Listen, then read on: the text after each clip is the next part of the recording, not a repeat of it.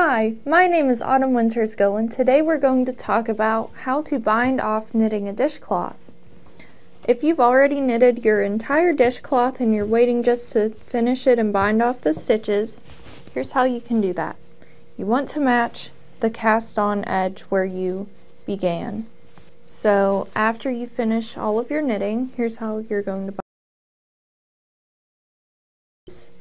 and pass the first one over the second one and then knit another stitch.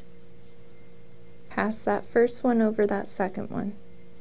Continue this so that you're knitting a stitch. Passing the first one over the second one all the way across and then you will have a nicely bound off edge around your entire dishcloth.